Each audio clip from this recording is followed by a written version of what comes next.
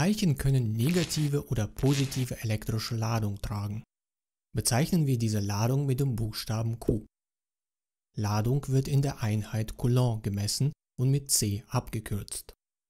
Teilchen wie die Protonen, aus denen unser Universum aufgebaut ist, tragen eine sehr kleine positive Ladung von nur 10 hoch minus 19 Coulomb. Das sind 18 Nullen mit einer 1 hinter dem Komma.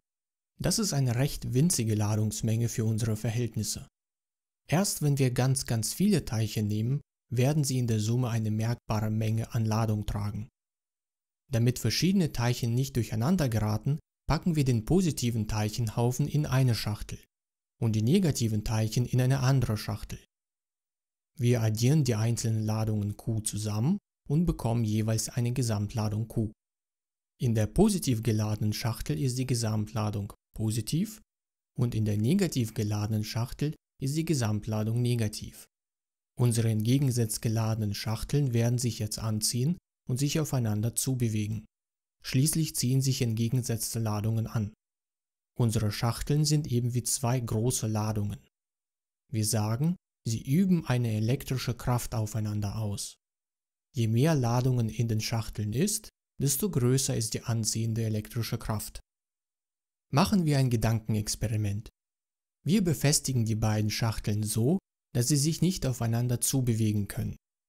Auf diese Weise bleiben die entgegengesetzten Ladungen getrennt voneinander. Die Ansammlung negativer Ladungen in der einen Schachtel wird Minuspol genannt und die Ansammlung positiver Ladungen in der anderen Schachtel wird Pluspol genannt. Beide Pole ziehen sich an, sie wollen sich aufeinander zubewegen, das können sie aber nicht tun, weil wir sie jeweils an zwei Orten befestigt haben. Durch die Trennung des Plus- und Minuspols entsteht eine elektrische Spannung zwischen den Polen. Wir bezeichnen die Spannung mit dem Formelzeichen U. Die elektrische Spannung U ist kleiner, wenn wenig positive und negative Ladungen getrennt sind. In diesem Fall ist die Gesamtladung U in den Schachteln klein. Die elektrische Spannung U ist größer, wenn viele positive und negative Ladungen getrennt sind. In diesem Fall ist die Gesamtladung Q in den Schachteln groß. Die Spannung entsteht nur dann, wenn positive und negative Ladungen getrennt sind.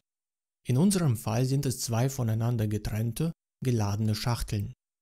Das musst du unbedingt verinnerlichen. Die elektrische Spannung bezieht sich immer auf zwei verschiedene Punkte. Behalte also immer die Frage im Hinterkopf, Spannung zwischen welchen zwei Punkten? Wir können diese Frage so beantworten, zwischen den Punkten, an denen sich die beiden Schachteln befinden. Wenn du also etwas von der Spannung liest oder hörst, denke immer daran, dass es irgendwo positive und negative Ladungen voneinander getrennt werden und es prinzipiell die Möglichkeit besteht, sie aufeinander loszulassen, um einen elektrischen Strom zu erzeugen. Dazu aber etwas später. Bis jetzt hast du nur gelernt, dass Ladungstrennung die Ursache der elektrischen Spannung ist.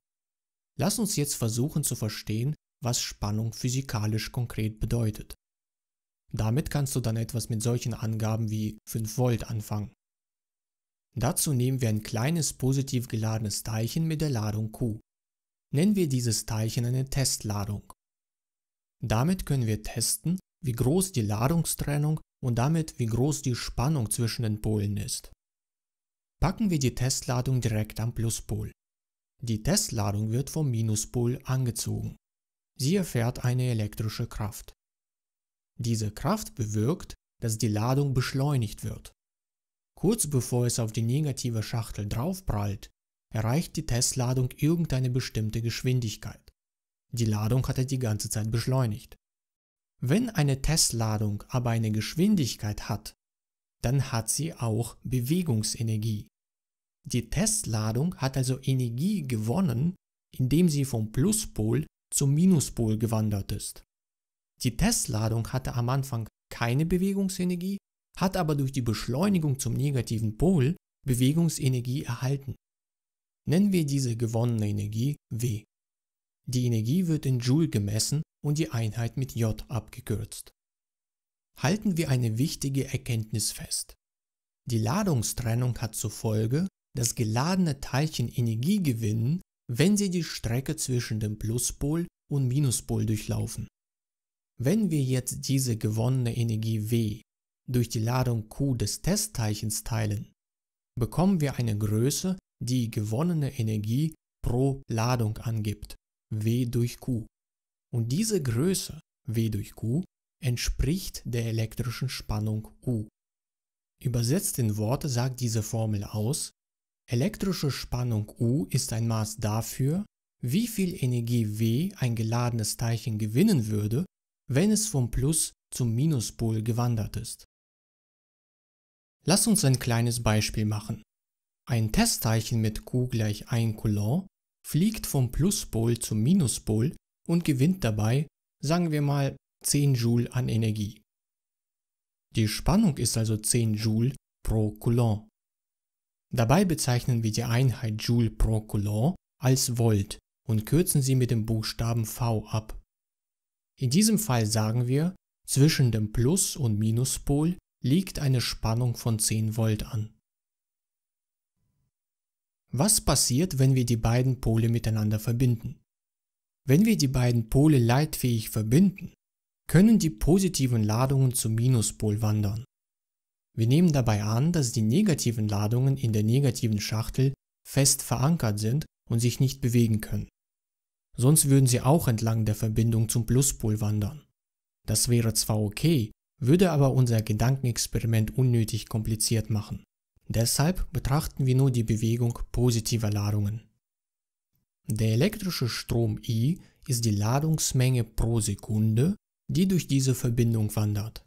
Das hast du hoffentlich schon im Video über den elektrischen Strom gelernt. Warum entsteht überhaupt dieser Strom? Na, die positiven Ladungen werden ja schließlich zum Minuspol angezogen.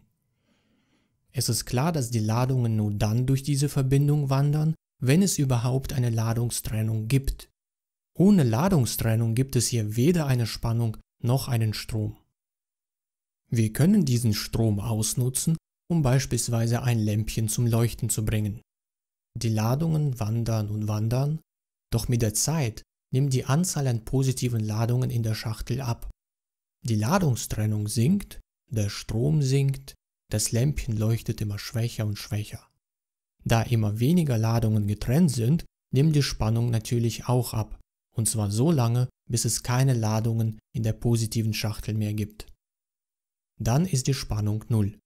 Der Strom hört auf zu fließen, das Lämpchen hört auf zu leuchten. Die Ladungen sind nicht mehr getrennt voneinander, sondern befinden sich alle in einer Schachtel.